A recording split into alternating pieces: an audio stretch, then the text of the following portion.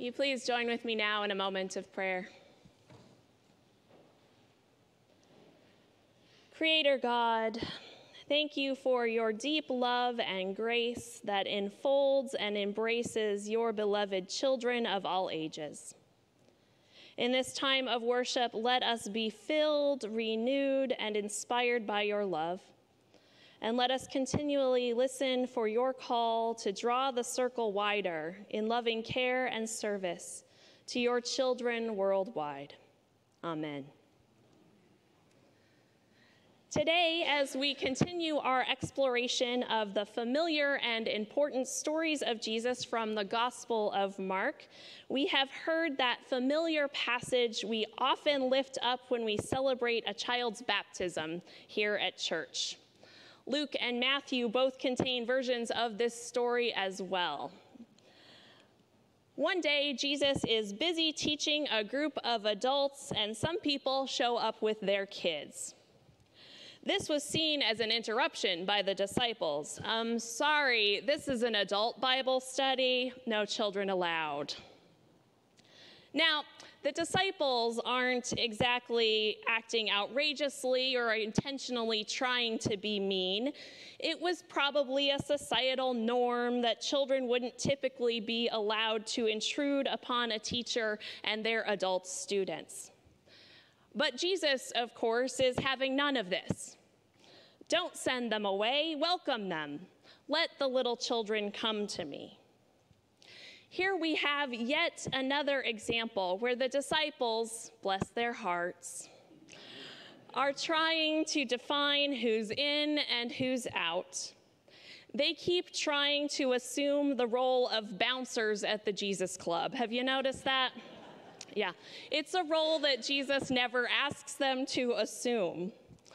So once again, we see Jesus just obliterate their tired, confining, and unjust boundaries.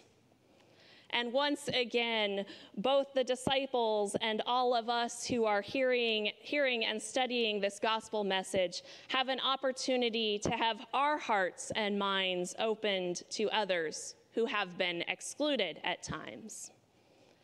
Jesus' followers don't just have to be adults. Jesus seems to be into intergenerational family ministry. Think about what happens when he welcomes and includes children. He also welcomes and includes those people who were bringing their children to him. And I'm willing to bet that many of those people were women. Maybe not exclusively, but mothers, grandmothers, aunts, they were often the primary caregivers for children in Jesus' day, and of course, in many cultures throughout history.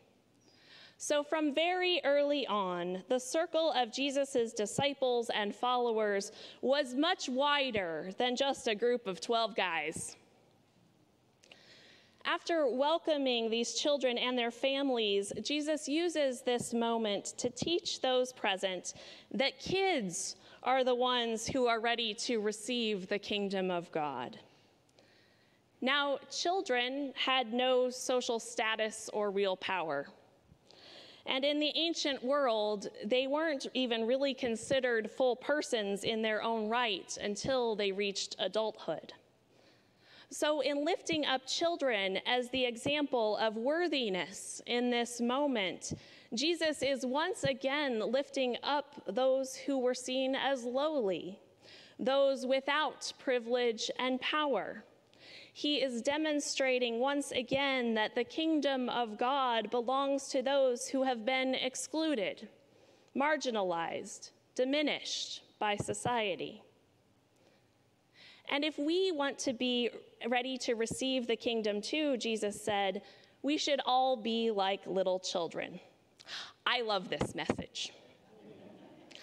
Somehow, being more like a child might help us be more open to God's grace, open to the reorienting of our individual and collective lives towards the love of God and the love of neighbor, open to the deeper and broader understanding of what it means to be one human family all children of our Creator, all siblings to one another. So, how shall we become like a little children? How do we embody a childlike faith? Now, most of us probably don't remember what it was like to be an infant, but many of us do know what it is like to care for one. So let's imagine for a moment. Think about how radically dependent a tiny, tiny child is on their parent or caregiver. As children grow, they become more and more independent, of course, but we all begin life relying on others for our every basic need. And not only do babies need the obvious things like food and clothing and lots and lots of diapers and bathing and sheltering and so on, they also need to simply be held. Close human contact is essential for our healthy development as people. So perhaps part of childlike faith is recognizing our radical dependence upon God, our Creator, upon the life giving, life renewing, and resurrecting love of our Creator who has loved us from the beginning and loves us still. Perhaps part of childlike faith is also recognizing that this divine love is not something that we can hoard or use to exclude and control, but is instead a love that each and every one of us was birthed from, was born into, and are continually embraced by our whole lives long. Perhaps childlike faith also calls us to remember that our mutual interdependence is necessary for us to survive and thrive. There are times in life when we find ourselves having to rely on others more than we want to. I'm guessing some people have had those moments. Perhaps it is in those times it might be helpful for us to remember that it is okay to be held okay to be held by others, cared for by others. And when we are called to be the caregiver, which we, many of us, have probably also experienced, there are others who can help us with that. We don't need to go it alone.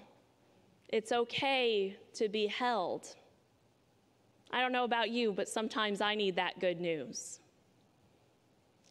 You know, sometimes I have heard people talk about childlike faith as if it's some sort of unquestioning belief. But I find that problematic because childlike openness and wonder and awe and accepting our own limited knowledge and those kinds of things, those are all really good things. But unquestioning obedience to a particular and often narrow theological framework, we all know that does all sorts of damage.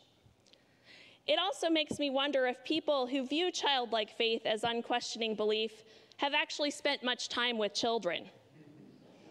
The kids I know ask tons of questions all the time. they push back on things that don't make sense to them. They want to figure out how things work. They want to know why things are the way that they are. They definitely want to know why certain rules are in place. And as they grow, kids, of course, learn to reason, to sort things out, and to make sense of the world around them. And in doing so, they make their lives and their faith their own. For us, God's children of all ages, a childlike faith can be reasonable, investigative, curious, and oh, yes, fun. Childlike faith can be a wholehearted embrace of God's love and God's beloved ones.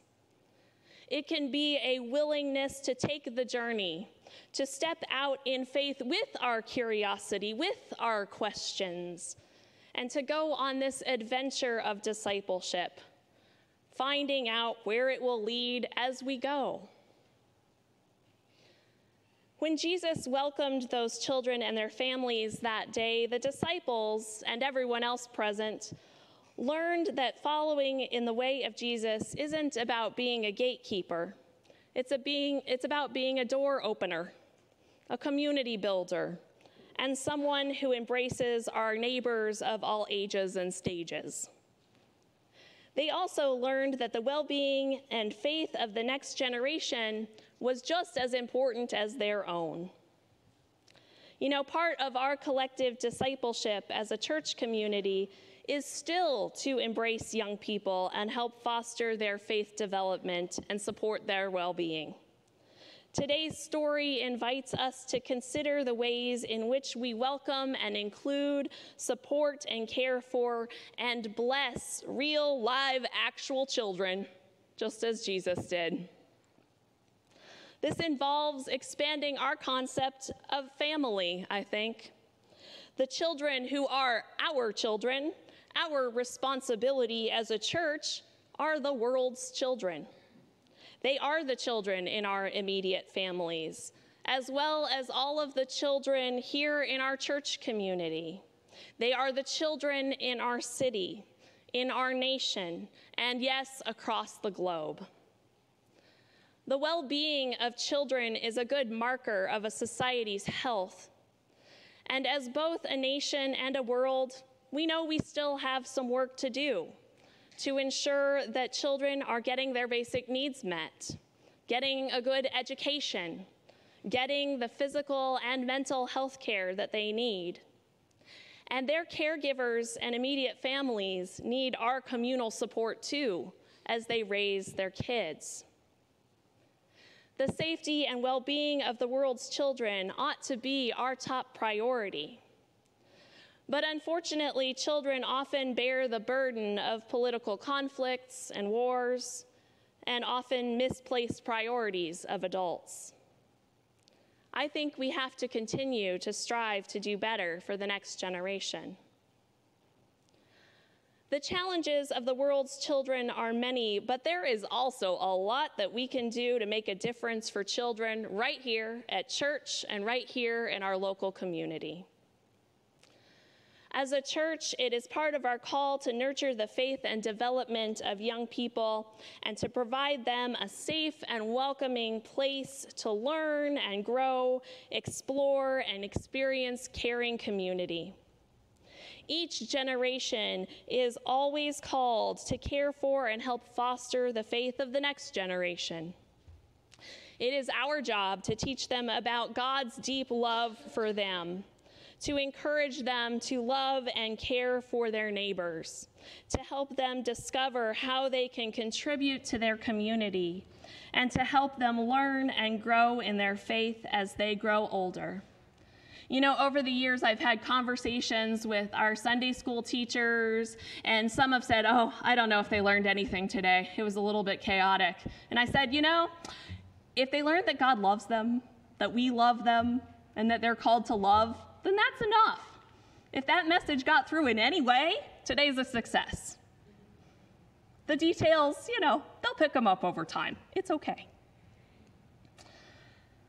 You know, in this stewardship season, as we look ahead towards another year of our collective ministry, I would encourage, encourage all of us to keep this in mind as we prayerfully consider how we will support our church in 2025.